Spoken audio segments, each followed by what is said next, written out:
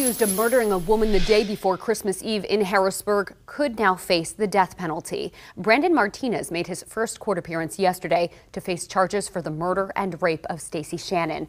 Her partially clothed body was found in the sunken garden on Front Street in Harrisburg. During the hearing, the lead detective testified that Martinez admitted to hitting and punching Shannon.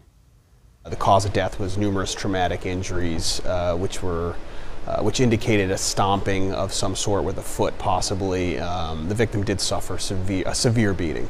Under Pennsylvania law, if someone does commit a murder during a sexual assault, prosecutors can seek the death penalty. But that decision in this case will be made at a later date.